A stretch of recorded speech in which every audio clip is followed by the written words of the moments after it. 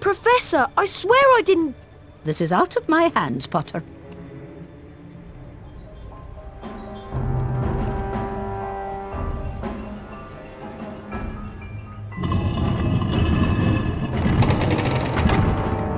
Through this door, please, Potter.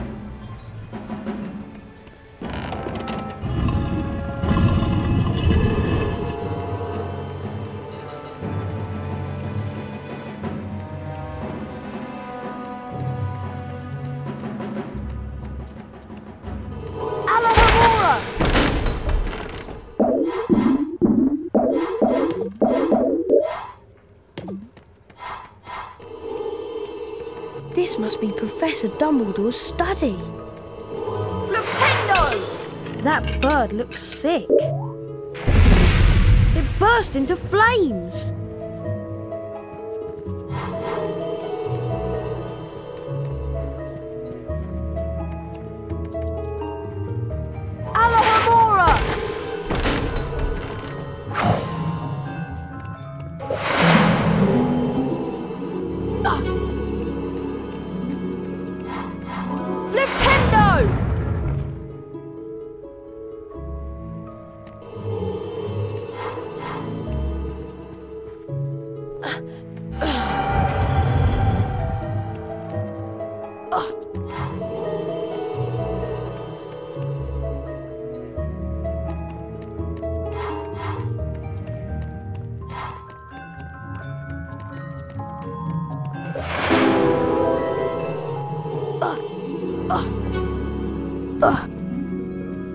It's the old school sorting hat. I wondered where it was kept. You've been wondering whether I put you in the right house. Yes, you were particularly difficult to place. But I stand by what I said before. You would have done well in Slytherin. Oh my gosh! Good evening, Harry. Professor, your bird! I couldn't do anything. He just caught fire. Fawkes is a phoenix, Harry.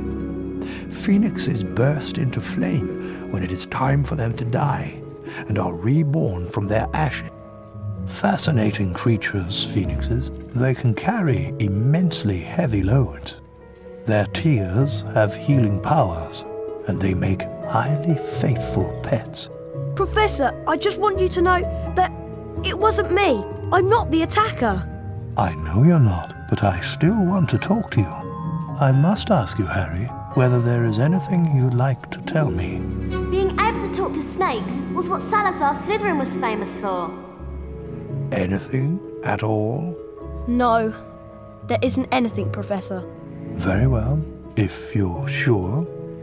Good night, Harry. Night, Professor!